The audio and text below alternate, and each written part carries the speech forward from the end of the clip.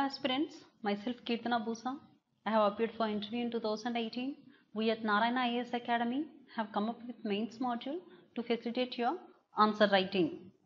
Important topics for the coming mains 2019 are picked and all the important points required to cover the topic are provided in a simple and lucid manner. We are taking these points from multiple sources so that you will get sufficient points to use in the mains exam. We are also taking extreme care to provide good structure to the topic. Hope our efforts will benefit you. Having said this, let us move to the topic today anemia, a public health emergency. I came across this topic in Niti Aayog website. We might expect a question from this in the coming mains 2019. Let us move to the introduction. India has been able to dramatically reduce the number of people living in extreme poverty from 306 million in 2011 to 48 million today. However, the similar dynamism is not shown against malnutrition. Anemia affects every second child in the country. Then we look into what are the government initiatives to fight against this malnourishment. National Food Security Act providing highly subsidized food grains to the poorest 67% of the population. This is the aim of NFSA and then free midday meal scheme which is targeting 100 million students in government schools and the supplementary nutrition program under ICDS network. Even after all these interventions, the country is home to the largest number of malnourished children in the world. And the comprehensive regulations and standards have been framed by Food Safety and Standards Authority of India on Fortification of Food. Women and Child Development Ministries along with HRD ministries have issued advisories to the states to mandatorily use fortified wheat flour and edible oil in ICDS program as well as midday meal scheme. These are all the few initiatives by the government of India in its fight against this malnutrition. Then what are the reasons for the existence of this malnutrition? One is poverty, gender disparity, poor sanitation, low health, nutrition service coverage that is only 30% of pregnant women are consuming iron and folic acid and poor nutrition intake. And the major stumbling block is the poverty. The people are unable to have even two meals a day.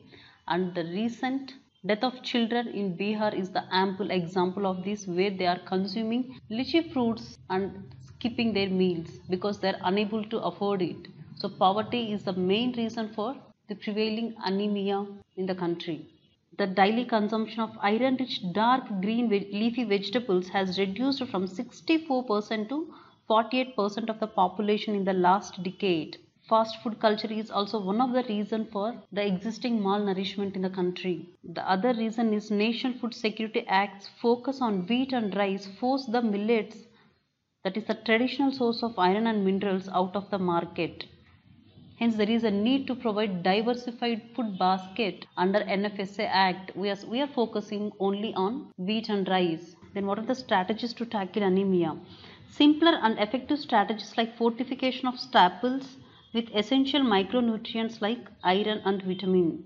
So providing fortification of staples is one of the strategy to tackle anemia and it should be affordable, scalable and sustainable intervention regular consumption of fortified food by consumers there should be awareness among the consumers. This requires comprehensive state specific strategy. Food safety and security authorities of india role its enforcement machinery and the quality control labs need to be strengthened. I have taken all these strategies from niti aayog website. Finally a successful pan india scale up of fortification will depend on many factors. That is the political will of state government flexibility to states to adopt the fortification model to their public distribution system.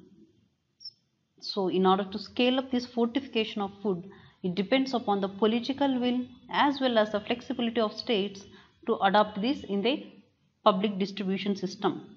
And finally, the capacity building of various stakeholders. We, we can also bring in the role of ASHA workers and there is a need to work on sanitation, clean drinking water, awareness among the public as well as education. We'll also look into the death of the Bihar kids which was in the news frequently. As per the article in Indian Express, malnutrition and recently held Lok Sabha elections are the reasons for the high death toll.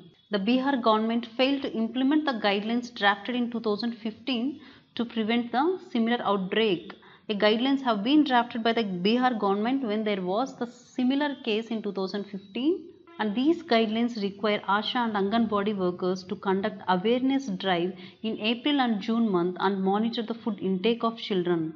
This did not happen this year because of the election duty. And the other says that blaming lychees was absurd and malnutrition was the culprit.